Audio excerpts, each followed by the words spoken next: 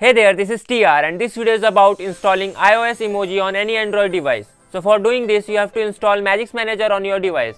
And if you don't know how to install Magisk Manager, check out description or click on I button. So watch the full video and don't skip any part. So without wasting any time, let's get straight into the video.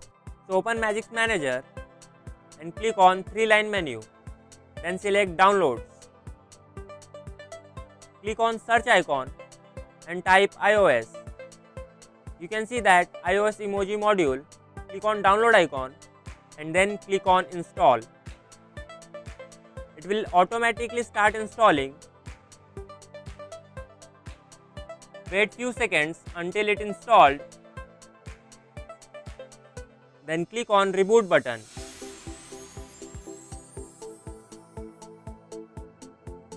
After restarting the device, you can check out your emoji in your default keyboard you can see that your emoji has been changed to iOS emoji. So subscribe for more such videos and I will catch you in the next one.